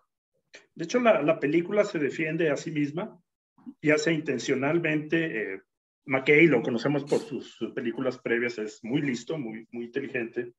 Eh, como si no, otra vez, esta escena de, de Jennifer Lawrence cuando dice, ya no me importan los chismes, lo que me importa es este, este problema, ¿verdad? Entonces, ya no me importa el cine y el arte y bla, bla, bla, me importa el problema, ¿sí? Por ahí salió una, una crítica de, de, la derecha, negacionista, ¿verdad? Diciendo, ah, es la respuesta izquierdosa, zurda, ¿verdad? A, a Armagedón. Y ya, se quedan en ese nivel, ¿verdad? o, incluso aunque lo reconozcan, y este es otro nivel de negacionismo, sí, obviamente sobre cambio climático, ¿ah? pero y, ya se van por otro lado. Y críticos eh, pensantes, ¿no? El grupo de Roger Ebert, etc. Entonces está, está difícil. Pero justo eso no es un producto a modo, es decir, no se queda nada más en, en, en, la, en la fase de entretenimiento, porque aún así, aunque haga la crítica, y quizá la única escena que dije, creo que el director se salió con la suya muy bien, fue cuando después de los créditos te pasan a los ricos llegando al planeta y comportándose como lo que son, como unos idiotas, ¿no? En diciéndote que el dinero está en malas manos, el dinero jamás fue tampoco la salvación. Sí, pero en los últimos segundos, perdón que te interrumpa, eh, se ve que los animales atacan a los ricos, entonces... Se los van a comer. Se los van a comer claro, eso, porque son ignorantes de, ah, saber en dónde llegar. Dentro de su ignorancia, pues no se salen con la suya, ¿no? Y esa fue como que la crítica de, más bien del director hacia los ricos. Sí, y Jonah Hill tampoco va a sobrevivir, está solo. Claro, pero, por ejemplo, a contraste de una película que me acuerdo que nos recomendaron en, en, en el curso, la de Madre de Aronofsky, donde también sale Jennifer, esa es mucho más visceral, mucho más fuerte y más, más eh, difícil de ver de procesar lo que está sucediendo ahí. Y a mí se me hace una analogía estupenda de lo que, de lo que sucede eh, en, nuestro presente o en, la historia que pasa la Tierra, ¿no? Eh, pero esa es mi forma también de ver cine. Alan, ahí concurro contigo. Uh, Mother es, es, es, un gancho al hígado. Sí. Eh, pero... Menos digerible. Exactamente. ¿A cuántas personas llega este, en este momento, en esta circunstancia? ¿Cómo, Alguien de ustedes lo decía, es que, y bueno, es que ahí coincide con Mother. Hay que gritar, es un grito. Aquel es un grito, de hecho, recuerden, Mother también tuvo una respuesta de la crítica muy, muy, muy eh, dividida. Muy, muy dividida. Eh, ya en un plano mucho más cultivado o informado, eh, no necesariamente más incisivo. Eh, pero porque también era un grito desgarrado en otro tono. Esta también lo es, nada más que este, e, está eh, e, en, otro tono que permite llegar a un público más amplio, que es la, el gran apremio. Eso es como si fuera un grito muy fuerte que nadie entiende y este es un grito muy fuerte que algunos ya, ya, se empieza a entender, más personas lo entienden. Más bien, creo, creo que muchos lo entendieron porque pues, es la película más taquillera que ha tenido Netflix. Sí. Entonces, y algo, y algo que comentaba Adam McKay, este, sí, justamente hoy, eh, en la mañana estaba leyendo un artículo donde él está comentando sobre la película y su objetivo mm, es solamente poner como que la primera piedra sobre este grito o este eco que, tiene, que se tiene que construir. Y yo creo que lo logró muy bien. O sea, ya de manera artística la película, pues no, no es la mejor, pero tampoco, tampoco las personas que ven Netflix pues son las más este, eh, selectas en cuanto a, al tipo de, de, de, películas que nosotros pues, creo que en este grupo vemos, ¿no? O sea, de que hay mejores approaches para tocar estos temas, sí, sí los hay, pero qué tan digeribles y qué tan gustosos sean para el resto de la población, pues sí está, sí está complicado y creo que eso es lo que tendríamos que estar valorando, ¿no? O sea, nosotros entendemos este problema, pero nosotros cómo lo comunicamos al resto de las personas que no logran todavía entenderlo. Yo creo que la propuesta, lo que planteabas hace rato, Manuel, eh, como, como propuesta muy, muy acertada, de un nuevo género a nivel de, de cine y cualquier otra eh, obra, categoría eh, artística o cultural. Es decir, que no es una sola película y se analiza como tal, buena, mala, artística, ni tampoco es un documental.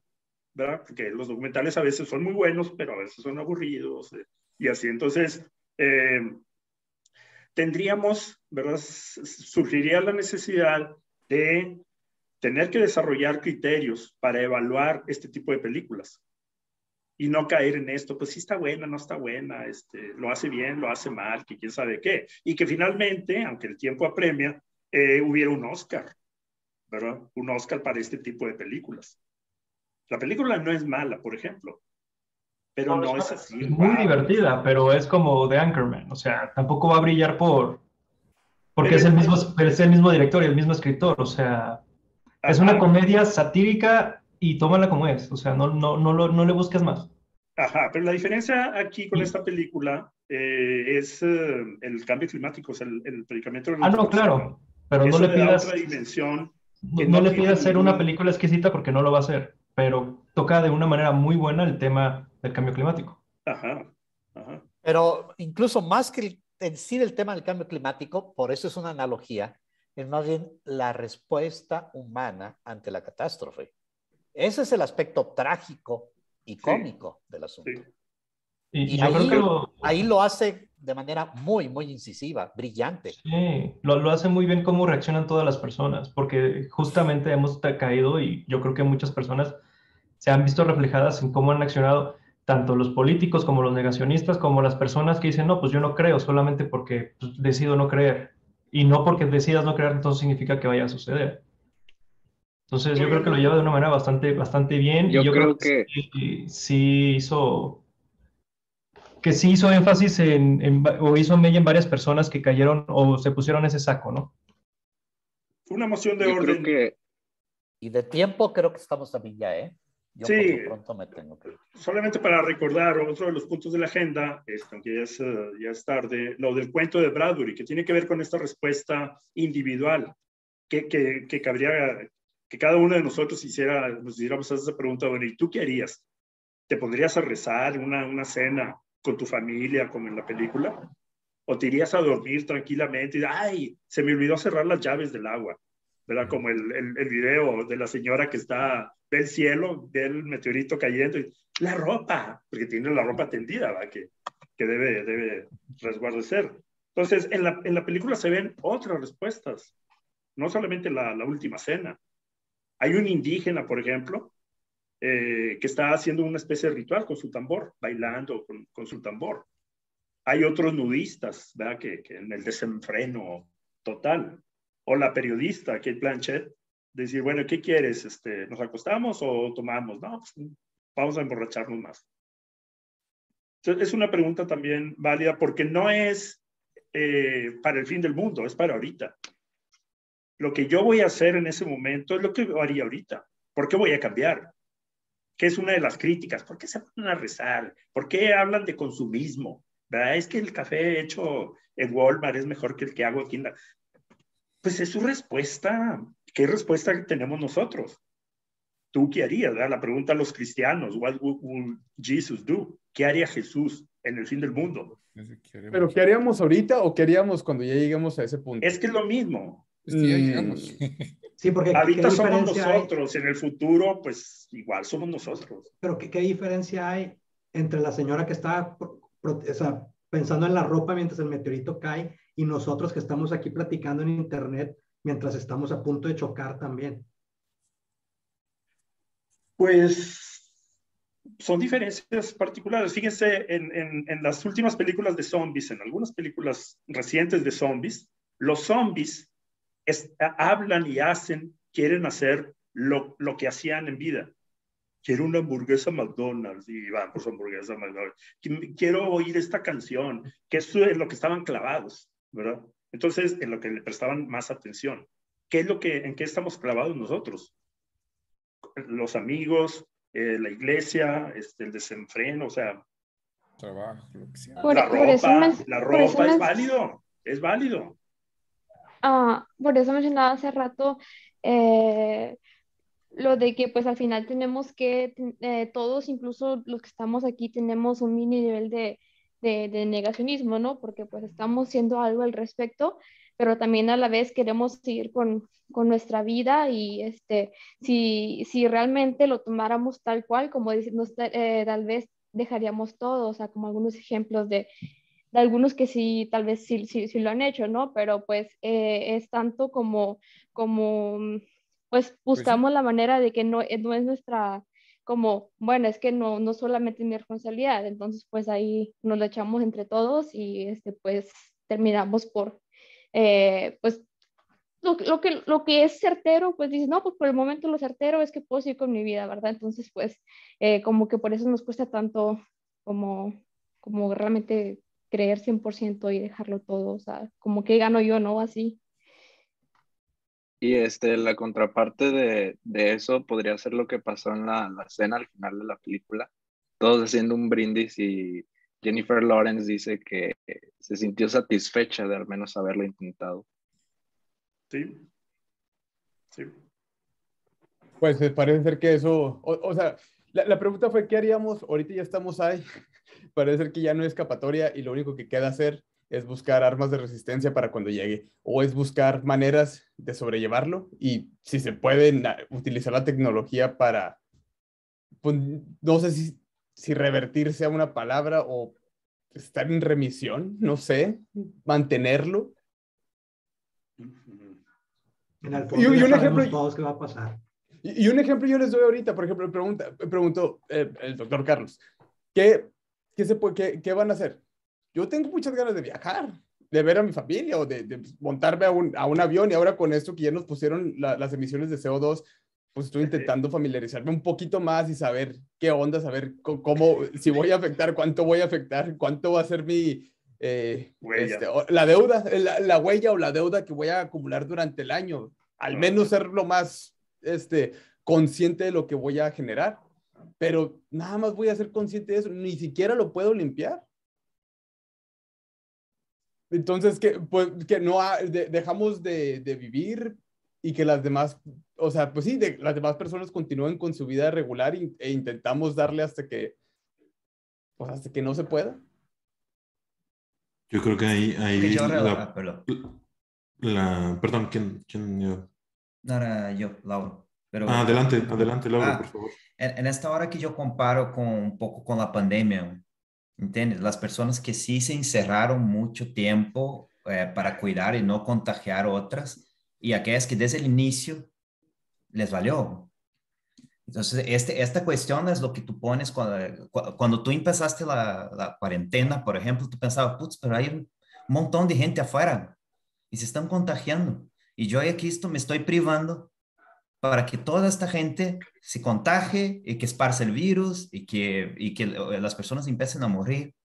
Entonces, es, esto, hasta qué punto estamos dispuestos a, a, sacrificarnos y ver lo que está pasando afuera, la gente con, echando el CO2 para todos lados y tú no quieres usar carro, vas a usar bicicleta, no vas a viajar para ver tu familia, no vas a hacer, tú, ¿hasta cuánto estás dispuesto? ¿Y cuántas personas en el mundo están dispuestas a sacrificar eso para que el mundo pueda respirar un poco? ¿verdad? Eh, eh, ese es un punto interesante en lo que levantas, porque yo hago un paralelo a veces con la pandemia, con, con, lo que pasó en la pandemia, porque fue eso. ¿Y, ¿Y cuántas personas murieron por negar que existía la pandemia? ¿Cuántas personas murieron? No, no existe nada. Murieron muchas personas porque negaron la pandemia. ¿verdad? Pero también tiene ese punto, que ¿cuánto estamos dispuestos a sacrificarnos ¿verdad? Y a encerrarnos y, y, y, sacrificarnos de ir a una carne asada o, de, para no contagiar, o en este caso del planeta, de, dejar de, volar o dejar de usar tu carro e ir de bicicleta al trabajo, por ejemplo, o de hacer, hacer cosas más que serían para el bien del planeta. Eso ha sido, eh, ¿me escucho? Sí. ha sido tema de discusión en mi familia y hemos llegado a la conclusión de que por unos pocos, menos de la mayoría, perdemos todos. a mí personalmente lo que me da miedo es emprender mis acciones individuales en cualquier tipo de problema mundial y llegar a ser una Jennifer Lawrence al final del día, saber que no cumplí mi objetivo, pero que tal vez esté satisfecho y tal vez solamente. Justo creo que lo, con, la pandemia se ven ejemplos donde se funcionó el, el tema de los qué pasa con los esfuerzos individuales y qué pasa con con esfuerzos eh, más grandes, masivos, donde, donde se metieron, eh, donde se metió el Estado a, limitar las acciones. Y, como bien comentamos, aquí en México eh, fue mucho estos esfuerzos individuales donde unos no salíamos, donde estábamos cuidando y conocíamos otros que sí, y, continuó. Y sabemos de países donde todo, todo se cerró porque, porque el Estado así lo, lo lo decretó, basado obviamente en, la información que había, y los, la, consecuencia fue que los efectos o, la, el resultado de disminuir los contagios, pues varió muchísimo. Entonces, creo que ahí es un buen ejemplo para contrastarlo con greenwashing, ¿no? No es este... saber que, por ejemplo, esto que comentaba Julio, de, de, viajar, realmente si, si, Julio deja de viajar ah, y, y, de cumplir con, con, la, con, los planes que tenía, no va a afectar, seamos sinceros, no va a afectar, eh, pues, no, no, va a salvar al mundo. tiene, tiene, que, al respecto y tocándolo con, con los temas que, venían, que se venían tratando, se tiene que hacer un esfuerzo por comprender bien el problema con la información que se tiene, buscar toda la información que se tiene y entender de paso que los esfuerzos individuales, y ni siquiera individuales, o sea, si quieren, los grupos, el grupo más grande que haya de ambientalistas, no es suficiente. Es, es entender eso y, y, la información está ahí. Entender eso es, es, la primer, es el primer paso, me parece. O sea, no porque de pronto dejemos de comprar ropa o hagamos todos si no lo hacemos todos al mismo tiempo, no se va a lograr. O sea, Pero hay que hacerlo como quiera. Ah, sí, claro, sí, no, claro. Pero hay que hacerlo, entonces. Pero sabiendo que, no, es solo eso. Ajá, ajá. Y, y, hay también ese aspecto eh, funcional de la masa crítica, ¿verdad? Eh, no, o sea, no, no, el que las cosas que han, sí han cambiado a lo largo de la historia no es porque en un determinado momento el 100% de la gente dio el paso adelante sino porque llegó un momento en el que no sé cuál es el porcentaje de, del que se habla ahí, pero es relativamente bajo, es del 3.5. Algo así por ciento de la gente. 3.5, pero para regímenes autoritarios. Ya. Como quiera que sea, pero, pero sí estamos viendo que, eh, y es parte de lo que hemos mucho discutido en el grupo, ¿verdad?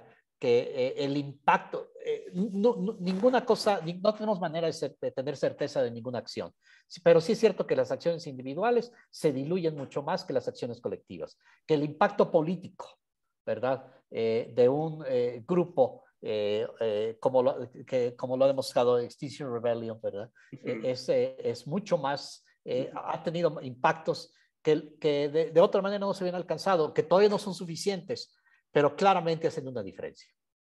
Sí, claro. Yo decía que, que se tenía que educar a los niños. No estoy diciendo que no tenemos que hacer nada ahora, pero va a ser muy difícil tener 100% de nuestra generación alineada claro. con, las, con, con, con, con, los problemas que tenemos y que lo que tenemos que resolver. Sí, sí tenemos que empezar, pero que ten, si tenemos, para conseguir tener, permear bien, si pudiera haber un evento hasta por el Estado, el Estado eh, bajar eso para que los niños empiecen a aprender. Tal vez en el futuro, tal vez en el futuro tenemos más gente consciente y menos negacionista con relación al, clima, al cambio climático. Ese era mi punto. Claro, de ahora sí, tenemos que hacer algo, las personas tienen que, tienen que haber otras, eh, otras medidas, ¿verdad? Pero si vamos un poquito más para la camada, para las siguientes generaciones tal vez, porque ahora, eh, yo soy un poco pesimista en ese sentido, ahora, ahora, eh, sé que urge, pero ahora yo lo dudo que logramos convencer buena parte de la gente a, cambiar su estilo de vida, de, para, mejorar el ambiente, el planeta, ¿verdad? Muchos de nosotros conscientes sí, pero mucha gente está, están dormidas, ¿verdad? Y no van a cambiar. Bueno, es mi visión pesimista, sí con relación a esta generación que está ahora. ¿no? Creo, doctor, que... cuando que, el artículo al que se refería era el de Andrea Baroncelli, que de hecho es un artículo bastante optimista con estadística, que decía que el, cuando el 25% de una población llega a... que hay poder cuando la mentalidad se... cuando hay una convención social y puede haber una vuelta y es un artículo bastante, em, bastante optimista con estadística, ¿no? Y hablando de cambio social. Y creo que, regresando a la analogía del grito del antropoceno, creo que el grito del antropoceno tiene que ser, no tiene que ser uno, tiene que ser muchos, tiene que ser uno desgarrador y uno con...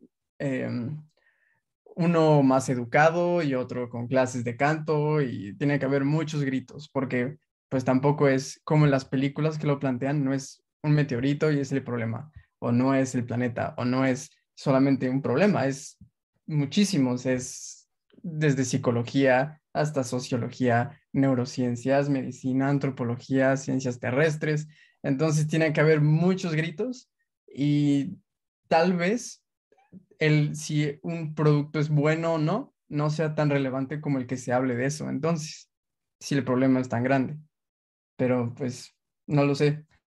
Y sí creo que todo puede cambiar. Me recuerdo cuando Tarantino hizo la película de Once Upon a Time in Hollywood, decía que uno de los problemas en Hollywood era que pues, él quería recrear los, los, no me acuerdo en qué años está ambientada, en los 60 creo, pero que llegaba a los sets y ya estaba, habían desechado todo. ¿Por qué? Porque estaban los sets para las películas de Marvel. Entonces él tuvo que recrearlos todos y así. El caso es que creo que todo puede cambiar, incluso en la industria. Depende la demanda y si ya vimos que en la COP26 los gobiernos no están haciendo demasiado, pues no, yo creo que soy optimista al pensar que nosotros sí podemos encender un cambio. Claro que la responsabilidad es diferente, cada quien, ¿no? Pero bueno, es otro tema. Muy bien. Pues creo que será oportuno ir cerrando. No sé si haya por allí, Pepe, ibas a decir algún comentario ahí. Sí, pues, este, pues nada más como para, para concluir, en el, en el curso tenemos eh, eh, un montón de señales de esperanza, de cosas que, de cosas que, que pueden cambiar. Eh, una que me da mucha esperanza a mí personalmente es que todas las protestas que están, que están surgiendo en el mundo por parte de los, de los niños que ya se están convirtiendo en jóvenes, que ya, que ya van a votar y van a votar a los políticos que no están funcionando, los van a votar. van, a, van, van, a votar por, por políticos que, que realmente estén preocupados eh, por, por, el, por el cambio. Este, quizá algunos de ellos incluso se, se avienten a una carrera política. De me, me, refiero a los, a los niños y jóvenes que están presentando, protestando con el movimiento Greta Thunberg, con, con eh, Extinction Rebellion, etcétera. Eh, todos esos movimientos no existían antes, ahora ya existen, están creciendo, está, están teniendo más de 18 años y pues van a ser una fuerza, creo que va a ser una, fuerza muy, muy, muy fuerte. La otra señal de esperanza son todas las demandas, las demandas que hay fuertísimas contra petroleras, contra gobiernos, contra este, las, las, las, los lobbyistas que están, los, los, los cabilderos, y, y, hay ya protestas contra los medios que, están, que, que no están eh, eh, tomando, tomando en serio su papel social, protestas contra los publicistas que están eh, vendiendo publicidad a los, a los, negacionistas. Son muchas las señales de, de esperanza que que, hay, que hay por allí. Están las nuevas economías, están todo, todo lo de la dona, en fin este, eh, eh, eh, el, cambio en la percepción general de la, de, la, de, la gente, en los movimientos que hay ahorita y que no había hace cinco años. Eh, son todas señales de esperanza muy, muy importantes que pues van a tener que ir coalesciendo en, en, en, en, un movimiento más, más, más unido. Que, nada más que quería decir, este, de terminar con, con, con, todo, con todo ese conjunto de señales de esperanza que, que ya, que ya conocemos y que, y que van, van, van, a, eh, van, a resultar, eh, van a resultar bien. Carlos. Sí, sí, sí eso, eso es eh, muy correcto. Eh, y déjenme sumarles que es precisamente una de las propuestas que hace el propio director de la película, eh, de, eh, llamado la acción política de cada uno de nosotros, entre otras medidas, que las especifican en, en, en, las dos páginas que les pasé en la liga, por ahí en el grupo, en el WhatsApp. Hay, hay una, un sitio de la película y por ahí pueden bajar un PDF con acciones y cuánto, muy práctico. Por ejemplo, uno de los objetivos es, es de la película era que tuviéramos esta reunión. Entonces, check. Claro. Ahora, en esto que dice Pepe, déjeme agregar esto, que no solamente los escandinavos existimos, sino el sur global también existe. Sí. Y ahí han estado luchando, han, en, el tiempo pasado han estado luchando por lo menos hace 500 años. Así es. Luchando por lo que queremos. Nosotros estamos a gusto, pero relativamente a gusto eh, en nuestras vidas, pero hay millones y millones de personas ahorita mismo luchando contra eh, fenómenos de cambio climático, etcétera, y resistiendo. Sí, Entonces, no es nomás así, ay, ¿qué voy a hacer? Y este, ya valió, y que quién sabe qué. Hay que abrir el, el mundo, ¿verdad? Sobre todo al, al, al sur, al sur eh, global. Correcto. Así es. Bueno. Pues eh, eh, gracias a todos, eh, a todas.